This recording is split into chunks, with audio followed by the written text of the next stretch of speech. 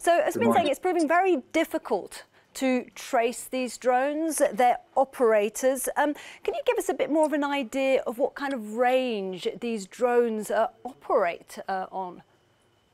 Well, it really depends on the, the type of drone that's in use, and it's, it's worth pointing out that I think still at the moment the authorities are unsure of, of what type of drone is actually being being used, be it the uh, a commercial off-the-shelf drone that we see every day that potentially a hobbyist might use to the more commercial drones or even a, a bespoke uh, home build uh, drone. But uh, effectively the capabilities of, of, commercial drones have been rapidly developing over uh, the last few years.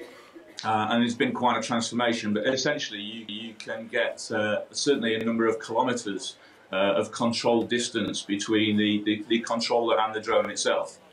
Which will make it all the more difficult, obviously, to find the perpetrators of this. Um, but can, they, they could have catastrophic consequences, couldn't they, should they hit an aeroplane?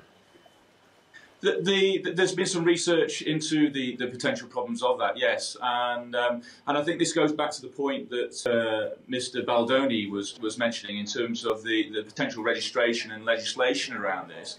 Uh, our point uh, of view is that legislation is, is, is welcomed in this young sector for drones, and and we are very much behind the adoption of uh, drone technology. But as with all technology like computers, etc., there's going to be those that wish to use it for uh, other purposes. Um, and um, essentially, uh, what we're looking at here is um, a very sustained and, and deliberate act of, of disrupting the flights here and, at Gatwick. They could, they could potentially bring down the plane, could they? If a drone was to hit, hit a plane?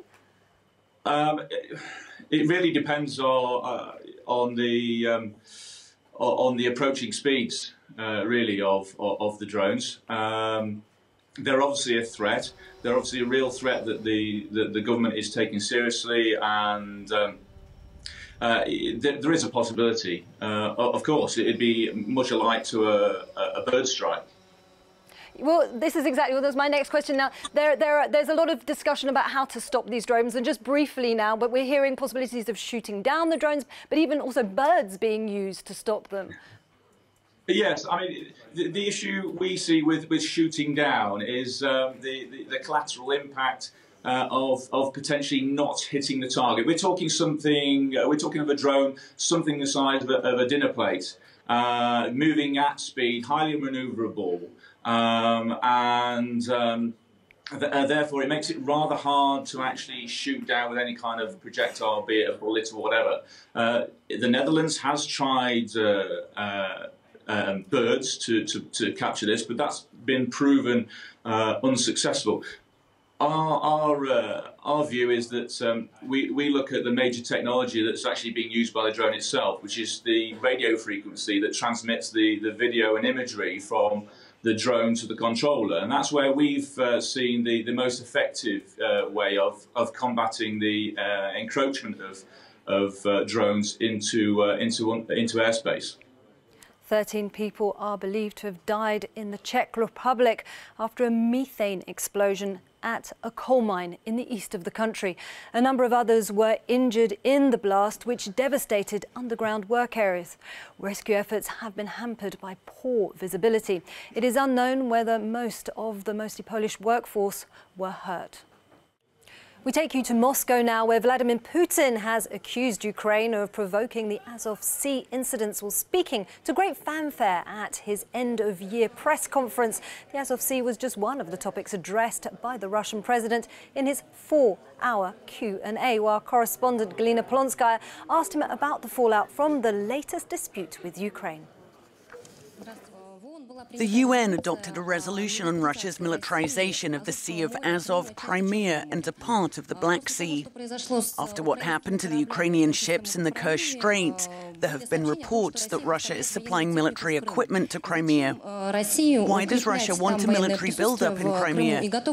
And is Russia ready to declare the whole naval area as its territory? This was deliberate provocation as part of the election campaign of Mr. Poroshenko. As we already showed through the media, we ordered that we be shown the ship's journal, and it said to pass covertly. What does that mean? It means no one knowing that it's going to happen. And those who conduct the orchestra in Kiev, those who set the tune, they talk about the fact that they are actually ready to blow the bridge up. We can't allow that to happen. As for the Sea of Azov regime, we have had a treaty since 2003, and it states that the shore area of 5 kilometers, not the 12 nautical miles in keeping with international standards, but 5 kilometers from the shore, these are the territorial waters of the state, be it Russia or Ukraine, and the rest of the sea is common to both countries. And when our fishermen were seized, they were actually seized in those neutral waters. They were not entering territorial waters. And they still haven't been released, including the captain. And Euronews stays quiet about that, as if it's common practice. The same was the case with other sailors, including the crew of a cargo ship.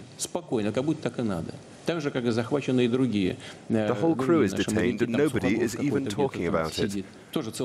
We are ready to stick to our agreements and we are not taking any unilateral measures.